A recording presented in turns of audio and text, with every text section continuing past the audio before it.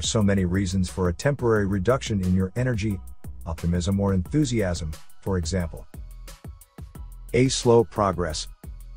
B. Reduced confidence in your abilities. C. Negative remarks from people close to you.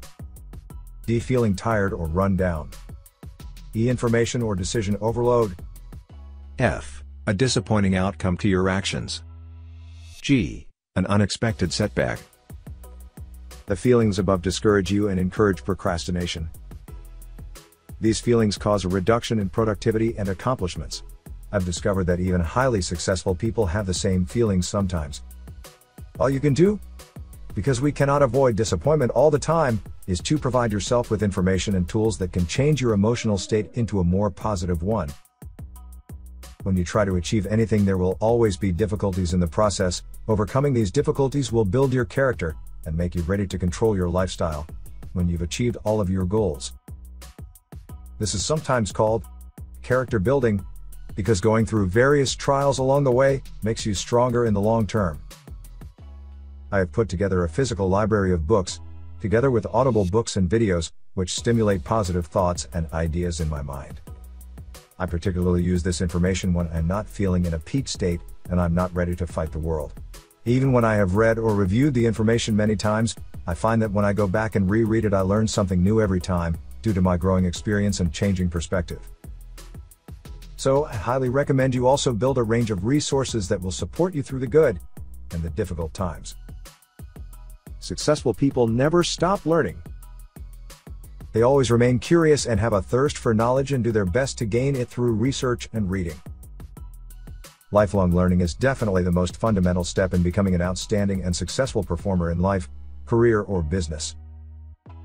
Upgrading your skills isn't complicated at all, but it requires commitment. Here are some key success practices.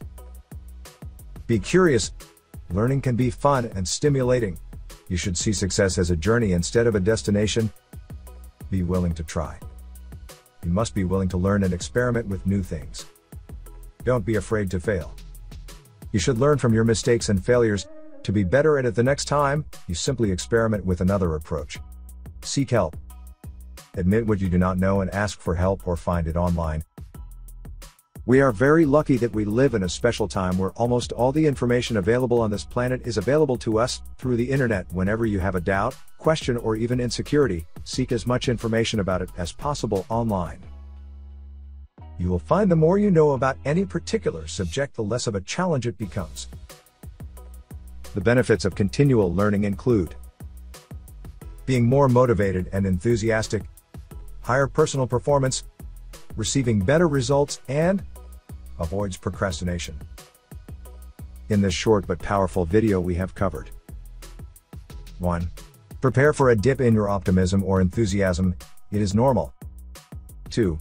However successful you become, you will still have these challenging moments. 3. You will build a stronger, more resilient character the more resistance you overcome.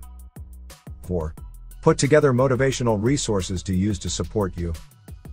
5. Never stop learning new information that can help you. 6. Blend persistence with experimentation. 7. You are not alone, your experiences are not unique, research others who had similar experiences. 8. Use the power of the internet to fill any knowledge gaps and to motivate you. It has been said many times that the only common factor to all success is persistence. As I said above, I believe that it is persistence blended with experimentation. This is because if you keep doing the same thing over and over, you will get the same results. So, if the results are not satisfactory, you need to try a different approach, but never stop advancing towards your goals. I'll have more suggestions for you in the next video.